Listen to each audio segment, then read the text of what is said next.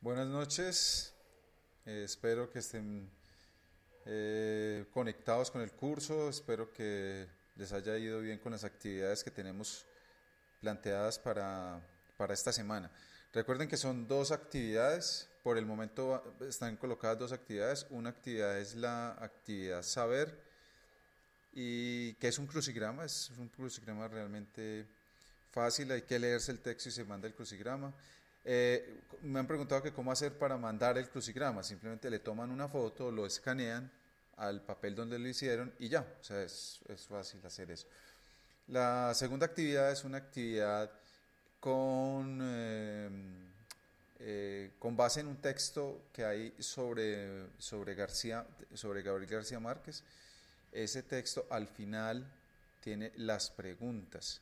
Entonces, no es, eh, no es complicado, es muy fácil. O sea, si el anterior, el crucigrama estaba fácil, este sí es mucho más fácil. Bueno, entrando en materia, entonces, ¿qué, qué cosas vamos a, tomar en cuenta esta semana? Eh, ¿Cómo es la estructura del texto? ¿Sí? Cuando hablamos de estructura del texto nos referimos a que en toda, eh, en, en toda en toda escritura siempre tiene que haber un orden. O sea, no, no, necesariamente por el hecho de que coloquemos unas palabras allí y más o menos nos entendamos de que, estén articuladas con sujeto, verbo y predicado, significa que haya un sentido. Ese sentido es el que vamos a discutir el día de hoy a partir de dos nociones, que es la noción de cohesión y la noción de coherencia. Es una los, conceptos son fáciles de aprender. Eh, vamos a mirarlos en detalle. Entonces, cohesión y coherencia. Para que un mensaje pueda ser comprendido debe estar estructurado, es decir, debe organizar sus elementos en forma de texto. El texto no es la suma de oraciones aisladas, sino un conjunto de oraciones relacionadas entre sí. Son estas relaciones las que constituyen la estructura textual y organizan el mensaje como una totalidad comprensible.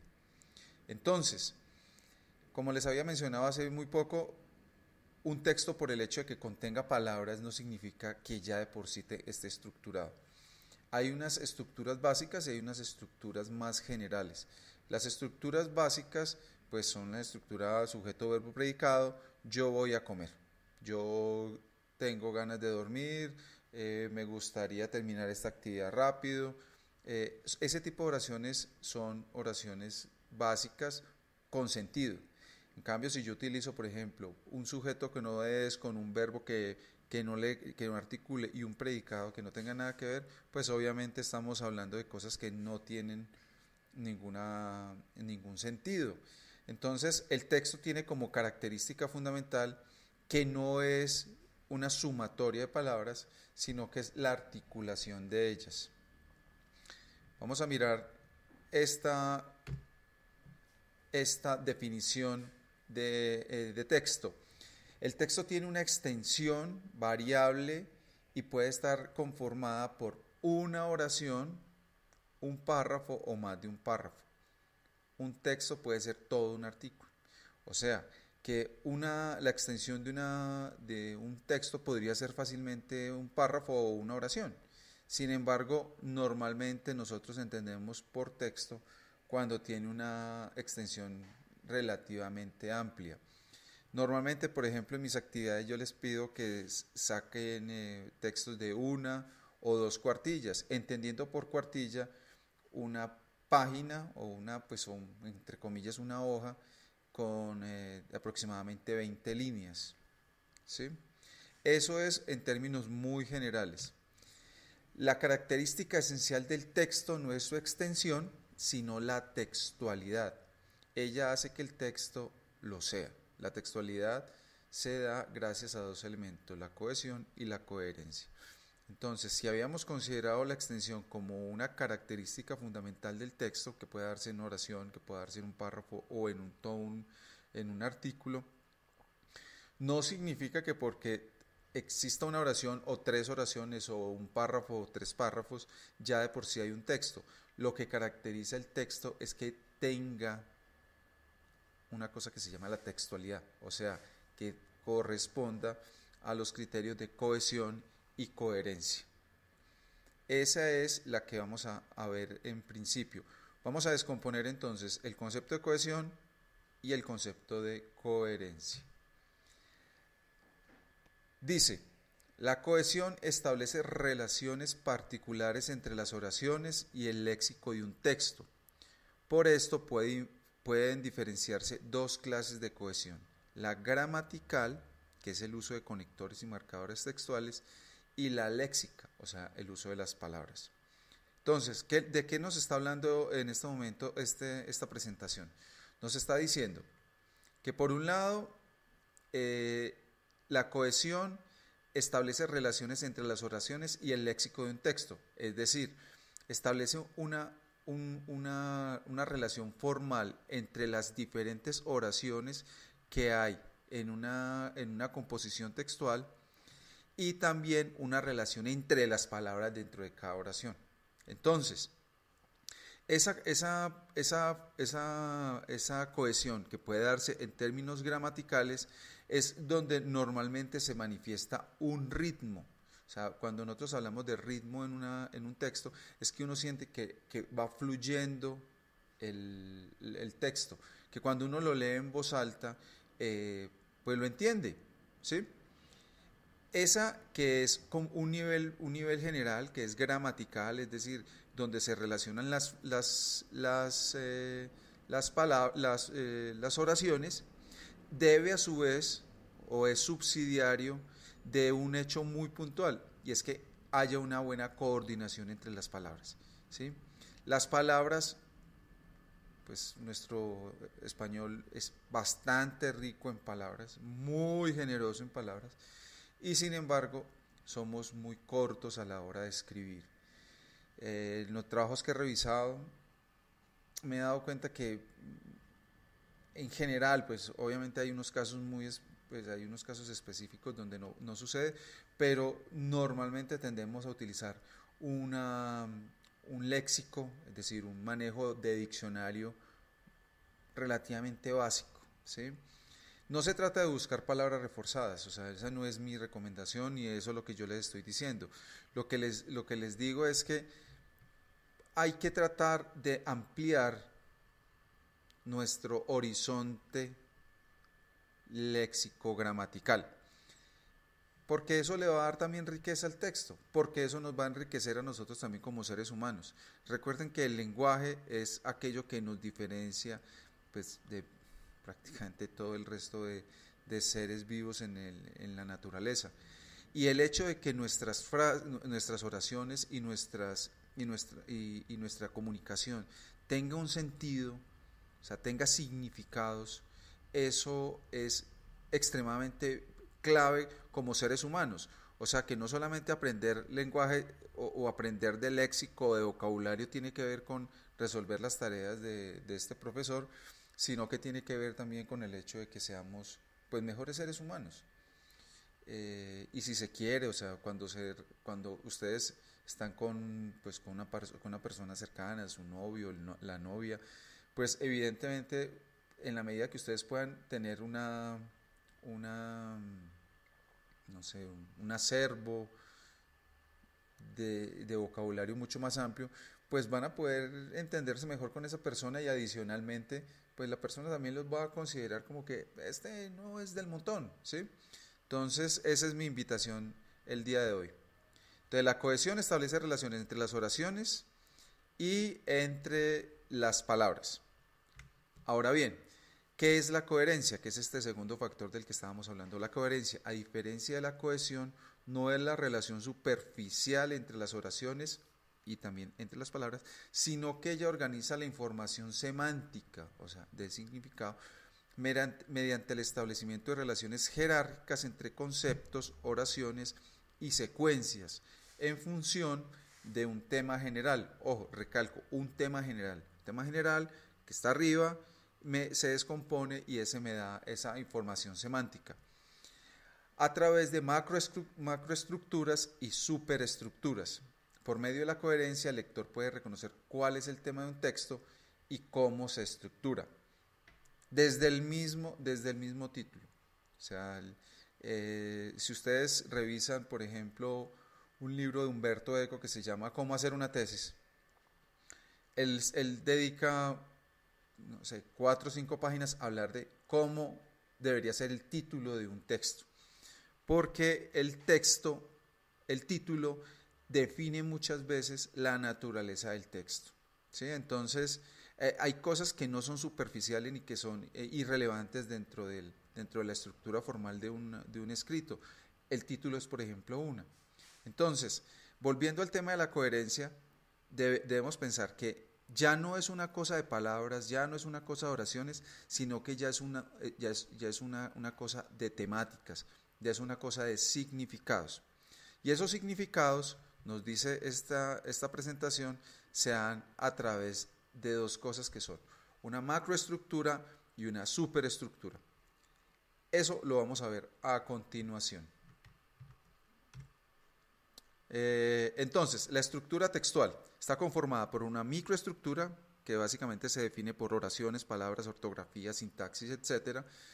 Una macroestructura que tiene que ver con todo el tema del texto y una superestructura que tiene que ver con cómo está descompuesto el texto. Vamos a explicarlo más en detalle. La macroestructura. En un texto las oraciones no, no solo se relacionan entre sí, sino que una secuencia de ellas está relacionada por un tema en común. Este es más general y abstracto que el tema de las oraciones, porque es la información global que quiere transmitirse. Hablar de macroestructura es referirse al sentido global del texto. Subrayo, sentido global del texto. Es decir, al tema general que a su vez se estructura a partir de la relación de oraciones temáticas que cada párrafo que configura en el sentido local o la microestructura textual. En otras palabras, la macroestructura se relaciona directamente con el tema y la microestructura con los subtemas.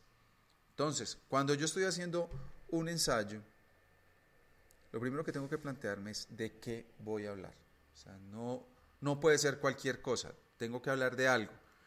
Si yo eh, voy a colocar, por ejemplo, el tema del fútbol, es, pues es un tema apasionante y para muchos será más apasionante aún, pero del fútbol hay muchas cosas que hablar podemos hablar de los jugadores, podemos hablar del reglamento, podemos hablar de las federaciones, podemos hablar de los equipos, podemos hablar de los implementos deportivos, de los, de los, de los espacios de, para jugarlo, etcétera. Cuando yo, cuando, cuando yo defino, voy a hacer un ensayo sobre fútbol, es difícil llegar a decir un tema tan general como el fútbol. No, hay que limitar esos temas y darle pues, una, pues un sentido, darle, una, darle un cuerpo muy limitado para que la otra persona me pueda entender de lo que estoy hablando. Y absolutamente cada una de las partes, todas las partes del texto, siempre están en relación con el, con, con el tema. Me explico. Si yo voy a hablar, por, por decir algo, de los equipos de fútbol, pero entonces en los equipos de fútbol quiero hablar de los equipos de fútbol a nivel eh, regional, o sea, no sé, Santa Fe, Millonarios, etc. Pero también puedo hacer hablar de los equipos de fútbol a nivel barrial, entonces en la, en, en, la Estrada o en, qué sé yo, en San José, en, en los barrios. Pero también podría hablar de equipos de aficionados. Entonces, cada uno de esos temas está referido a equipos. ¿sí? Y eso es lo que me articula, lo que hace que yo pueda desarrollar un texto con sentido. Entonces por eso quiero rescatar aquí el concepto de sentido global del texto. ¿Ok? Sentido global del texto. En otras palabras, la macroestructura se relaciona directamente con el tema y la microestructura con los subtemas. Muy bien. ¿Vamos bien hasta allí? Recapitulemos. Estructura del texto, cohesión, coherencia, macroestructura, superestructura. Esos son los temas que hemos tocado el día de hoy. En la cohesión, ¿qué dijimos? Es un tema de oraciones, es un tema de palabras. Y en la coherencia, estamos hablando de macroestructura y, y, y enseguida vamos a hablar de superestructura. Entonces ahora, la superestructura es la que caracteriza el tipo de texto independientemente de su contenido. Es el esquema al que el texto se adapta, al igual que la macroestructura, es una estructura global, es decir, no se define con relación a oraciones o secuencias aisladas, sino con el texto total. O sea, yo no hago una superestructura de una oración, hago una superestructura de todo el texto. La diferencia entre ellas radica en que la macroestructura es semántica, o sea, está referida a significados, claro. Es decir, es la organización del tema. La superestructura, en cambio, es el esqueleto, es el esquema del texto. Si se quiere ponerlo en palabras más castizas, es la parte formal del texto. O sea, cómo se hizo esa vaina. O sea, no, y ya no estamos, y no, y no, no hablamos de, ni de oraciones, ni de palabras. Aquí hablamos de cómo se configura todo el texto, todo el texto. Entre las superestructuras textuales más utilizadas están la narrativa, la expositiva, la argumentativa o informativa, cada una de ellas con unas características específicas y con unas intenciones o propósitos comunicativos que los distinguen. Vamos a mirar cómo son. Entonces, volvamos a decirlo. La macroestructura habla de cómo está organizado el texto. ¿Sí? O sea, la parte semántica. ¿De qué va a hablar? ¿Sí? Pongámoslo en eso. ¿De qué va a hablar? La superestructura habla, en cambio, es cómo se va a hacer, cómo, la, cómo voy a presentar esos temas. Entonces, eh, aquí en el texto se, dice que la superestructura es el esqueleto, ¿sí? El esqueleto. ¿sí? y no es que sea un cadáver, es que es un esquema, es que es una, una, una forma de ordenar el texto.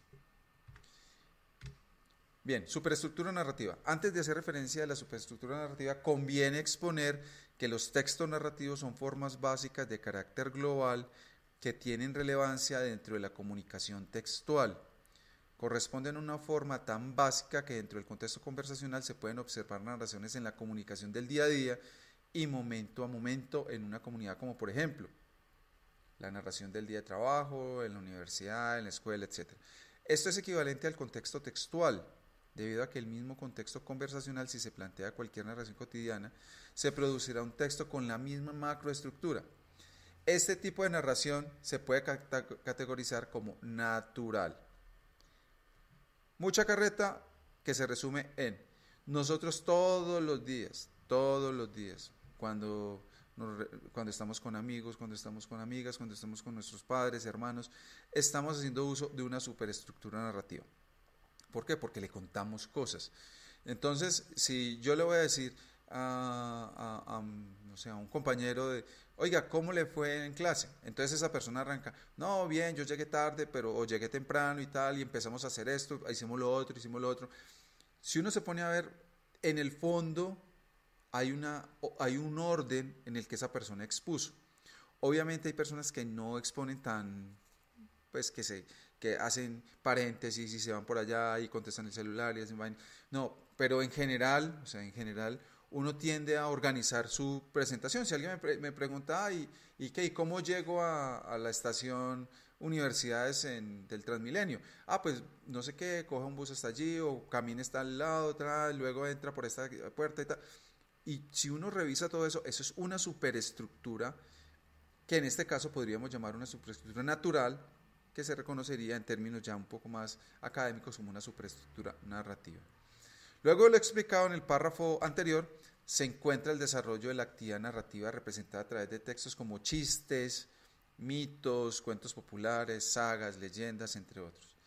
Y en un campo más complejo está es descrito como literatura, o sea, novelas, ensayos, eh, cuento, de pronto poesía, aunque no necesariamente la poesía.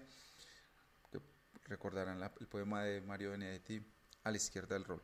Todo esto eh, resume que las estructuras de las narraciones literarias tienen su origen en la narración de textos naturales, que han sufrido una complicada transformación. Esto ya es una parte ya más editorial, pero lo que significa es que el origen de la literatura como la conocemos se debe pues, al, trabajo que, hacían los juglares, que hacía que la tradición oral. O sea, cómo nos hablamos y cómo empezó la historia de la humanidad, que era contarnos cosas, muchas veces contarnos eh, chismes. Entonces, superestructura narrativa es la estructura más básica, funciona como funcionan las cosas naturales.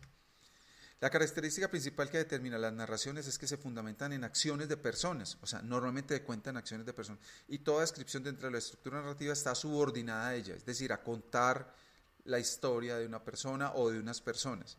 De manera que, como regla general, un hablante o escritor explica los sucesos y las acciones que considera importantes e interesantes alrededor de persona, de una persona o de varias personas de una comunidad, de una sociedad, de un país, etc. Pero eh, la superestructura narrativa tiene esa característica, que es que tiene que ver con nosotros como seres humanos. ¿Listo? ¿Hasta ahí vamos bien? Entonces, superestructura narrativa. ¿Cómo? Eh, bueno, este es un esquema muy básico, narración, historia, trama, episodio, etc. Pero más que eso, voy a detenerme en, en, en un tema que aquí quizá lo vimos muy rápidamente, muy rápidamente es aquí. Partes del texto de esa superestructura. Normalmente, normalmente, para una estructura, superestructura narrativa, narrativa, ¿cuáles son las partes? Es decir, ¿cuáles son las partes, por ejemplo, de una novela? ¿Alguien que me ayude allí? ya lo sabíamos, una introducción, un nudo y un desenlace. ¿sí? Eso es normalmente la estructura con la que nosotros contamos algo. O sea, ambientamos a la persona, planteamos un problema y finalmente cómo se resolvió el problema o si no se pudo resolver. En las novelas normalmente pasa lo mismo. Se genera un ambiente y tiene que ver con el espacio eh, eh, con los factores de eh, espacio-temporales, es decir, dónde está contada y en qué momento está contada.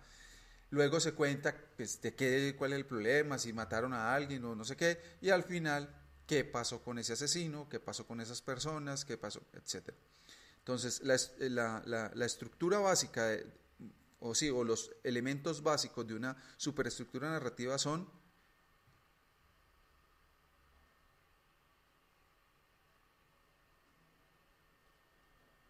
Introducción, nudo y desenlace. ¿Listo? Introducción, nudo y desenlace. Introducción.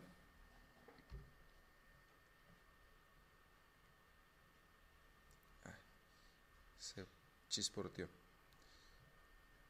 Introducción.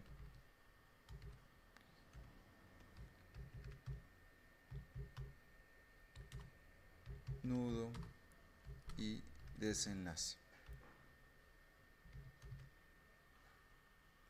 nudo no, nudo no, nudo, introducción, nudo y desenlace. ¿Listo? Esa es, esos son los tres componentes de, de una superestructura narrativa. Muy bien, vamos bien hasta allí. Vamos bien hasta allí. Listo. Superestructura argumentativa. Esta es clave. El esquema básico de la, estructura argumentativa se relaciona con una secuencia de hipótesis, premisa y conclusión. Miren, más claro no canta un gallo. Hipótesis, premisa y conclusión. Estas estructuras en torno a esta secuencia conforman el diálogo persuasivo, persuasivo, debido a que a través de la aseveración se busca el influjo sobre el oyente en convencerlo de la verdad o corrección a la que, o corrección a la que alude la aseveración la cual implica una serie de suposiciones que se orientan a confirmarla. Es posible la deducción de la aseveración por medio de la serie de suposiciones. Sin más carreta, esto es lo que hacemos en la academia. O sea, le decimos a alguien, eh, la teoría de la, de la, gravedad existe por esto, por esto y por esto. Nosotros no esperamos al final eh, que esa persona eh, diga, ah, pues sí, no. nosotros intentamos convencerlo de que, lo que la, investigación que hicimos, el ensayo que hicimos, si era claro y si era concluyente en relación al tema, por ejemplo, de la gravedad o en relación al tema de, cómo hacer una mejor una empresa, cómo poder estructurar un proyecto, etcétera, etcétera, etcétera. O sea, la superestructura argumentativa es la que utilizamos normalmente, normalmente en el entorno académico. ¿sí? Normalmente en el entorno académico. ¿Por qué? Porque es la que nos permite lanzar una idea, a llegar unas, unas ideas que sirven de soporte y concluir. Entonces, eh, chicos, cuando cuando empiecen a hacer ensayos, si no es que ya están haciéndolos, siempre háganse ese, e, esa, esa o, o colóquense como meta siempre tener en cuenta estos tres factores. Una, un problema, un problema, unas premisas y unas conclusiones.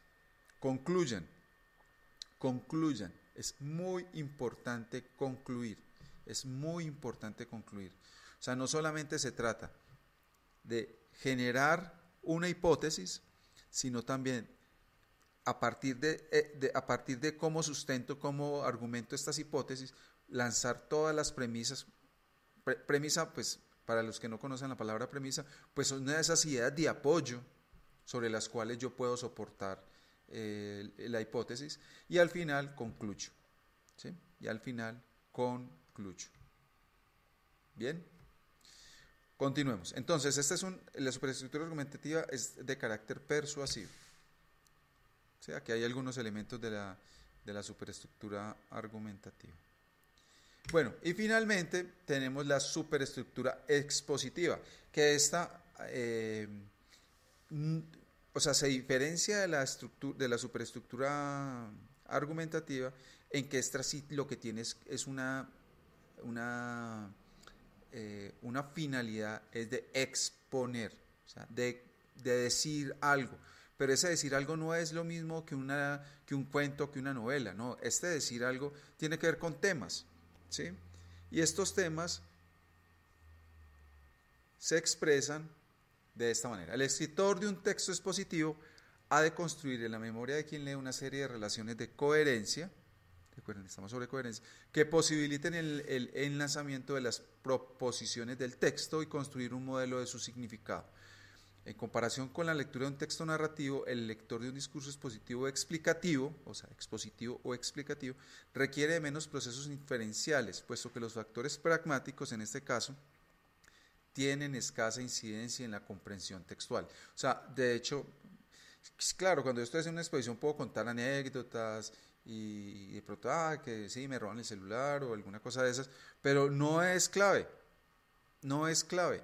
Lo que es clave es centrarse en el, en, el, texto, en, el, en, el, en el cuerpo de la exposición, porque el otro debe saber que yo sí le pude explicar bien, por eso es expositivo o explicativo, yo sí le pude explicar bien de qué se trataba. Entonces, como en el caso del fútbol, cuando alguien, yo sí le explico cómo es que funciona. O sea, yo ahí ya no trato de persuadir, sino que le explico. En, un, en una superestructura expositiva, yo le explico al otro. O sea, yo al profesor le explico que aprendí de ese tema, que lo pude manejar. ¿sí? Esta superestructura se rige bajo el, bajo, el, bajo el formato de introducción, desarrollo y conclusión. O sea, para ser más precisos, cuando yo tenga que exponer eh, no sé, en constitución o en la materia que vean, en marketing, en lo que sea, en las materias que sean. Yo debo hacer una introducción, uno, introducción, luego de esa introducción desarrollo el cuerpo, es decir, primero introduzco, o sea, primero llego y digo, voy a hablar de este y este tema por tal razón. Segundo, empiezo a exponer, a exponer absolutamente todo. ¿Sí? de una manera detallada y tal. Obviamente respondiendo a las condiciones de tiempo, ¿no? Porque si me dicen, voy a, tienes en los cinco minutos para que exponga sobre por qué llegó, por qué se dio el proceso de paz, pues yo no me puedo empezar a hablar de ya Manuel Marulanda hace 60 años, o sea, eso no sirve. Tengo que llegar y, y, y concentrarme en lo fundamental, pero no puedo obviar la conclusión. No puedo obviar la conclusión. Esta resume o enfatiza los principales puntos tratados en la exposición. Otras veces puede predecir los cambios que pueden ocurrir en el futuro relativos al tema expuesto. Entonces, muchachos, eso es, grosso modo, los tres, los, los, eh, las tres superestructuras que, nos, que son importantes para, eh, para, el, para que ustedes entiendan lo que significa un texto, cómo ordenar un, un texto. Una narrativa, que es normalmente lo que tiene que ver con novelas, literatura, ficción, etc. Una, eh, una argumentativa, que es como se hace normalmente un ensayo, y una expositiva, que es normalmente como hago ya las exposiciones. ¿sí? Últimas palabras. Un texto se descompone en coherencia y, cohesión. La coherencia, eh, la cohesión y coherencia. La cohesión tiene que ver con oraciones y palabras, ¿sí? en un nivel gramatical y en un nivel lexicográfico. La coherencia tiene que ver con, por, por dos temas, la macroestructura, que define un tema global, y la superestructura, que es el esqueleto. Y esa superestructura se define en narrativa, argumentativa y expositiva. Bueno muchachos, espero que les haya quedado claro el tema. Cualquier pregunta me la hacen saber. Espero que pasen una feliz noche. Que estén bien, hasta luego.